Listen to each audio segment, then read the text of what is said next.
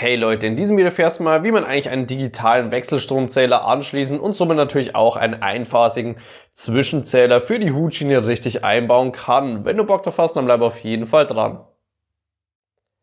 In meinem Fall habe ich diese Unterverteilung in einem extra Video auch schon richtig mit einer Hauptleitungsabzweigklemme, einem FI-Schalter und auch einem LS-Schalter angeschlossen. Und jetzt möchte ich da dann aber auch noch einen Verbraucher mit dieser Leitung hier anbringen. Und damit ich da auch den Stromverbraucher mal richtig messen kann, möchte ich unbedingt so einen kleinen Zwischenzähler hier auf der Seite noch dazwischen schalten. Bevor wir aber irgendwie beginnen, sollten wir auf jeden Fall unbedingt die fünf Sicherheitsregeln vom Strom beachten. Und dafür sind aber spezielle Videos an dieser Stelle auf jeden Fall sinnvoller. Wenn dann alles zu 100% spannungsfrei ist, schauen wir uns mal noch einen einfachen Plan an, wie das Ganze angeschlossen wird. Wir haben hier oben bei uns die Klemme 1, wo der meist braune Außenleiter L1 von unserer Zuleitung oder in meinem Fall vom LS-Schalter reinkommt. Daneben haben wir die Klemme 3, da geht der Außenleiter weiter zu unserem Verbraucher. Und hier unten haben wir noch die Klemme 4 und die Klemme 6 und da wird einfach der blaue Neutralleiter angeschlossen. Bei anderen Modellen sollte es normalerweise relativ ähnlich ausschauen. Ich gebe meinen Stromzähler also erst einmal an die gewünschte Stelle auf die Hutschiene, indem ich ihn hier oben etwas schräg aufsetze und dann nach unten dagegen drücke und falls er bei dir nicht automatisch einrasten sollte, einfach mal dieses Teil hier unten noch etwas nach oben drücken und er sitzt auch schon fest und danach können wir nämlich auch schon unsere Zuleitung richtig anschließen. Hierfür mache ich mir einfach mal mit so einem braunen Außenleiter 2,5 Quadratmillimeter eine Brücke vom LS-Schalter hier oben auf unsere Anschlussklemme 1.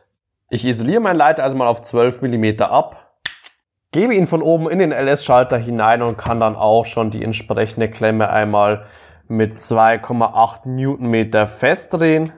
Biege ihn mir so hin, dass ich danach auch in meine Klemme entsprechend reinkomme.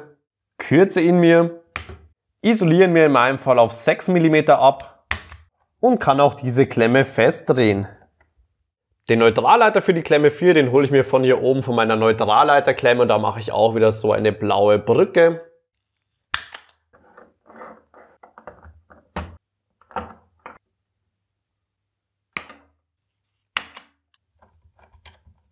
Die Zuleitung hier oben und unten passt auf jeden Fall. Wichtig ist auch noch zu sagen, dass wir auf jeden Fall die Neutralleiterklemme verwenden müssen, wo natürlich auch unser FI-Schalter hier angeschlossen ist und eventuell musst du deine Klemmen hier erstmal mit einem Schraubendreher gegen den Uhrzeigersinn lösen. Wenn das alles geklärt ist, dann können wir mal auch unsere Leitung zum Verbraucher auch schon dementsprechend abmanteln. Wichtig ist auch, dass wir diese auf jeden Fall lang genug lassen sollten, dass wir überall danach auch schön hinkommen. Den grün-gelben Schutzleiter klemmen wir hier oben bei unserer Schutzleiterklemme einmal richtig an. Den braunen Außenleiter führe ich zu meiner Klemme 3 rüber. Und den blauen Neutralleiter zu meiner Klemme 6.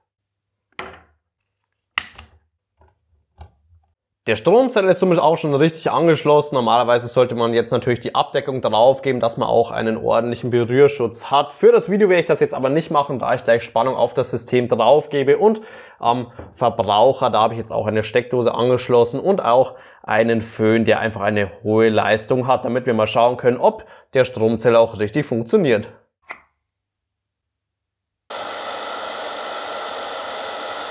Ich würde sagen, das schaut super aus und somit haben wir unseren Wechselstromzähler auch schon richtig angeschlossen.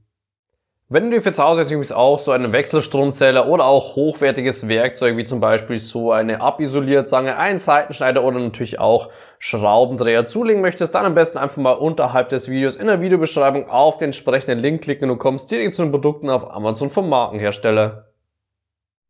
Falls dir das Video gefallen und auch weitergeholfen hat, kannst du mir gerne einen Daumen nach oben geben und es einmal unter dem Video in die Kommentare reinschreiben. Außerdem kannst du meinen Kanal noch hier oben kostenlos abonnieren, um kein neues Video mehr zu verpassen.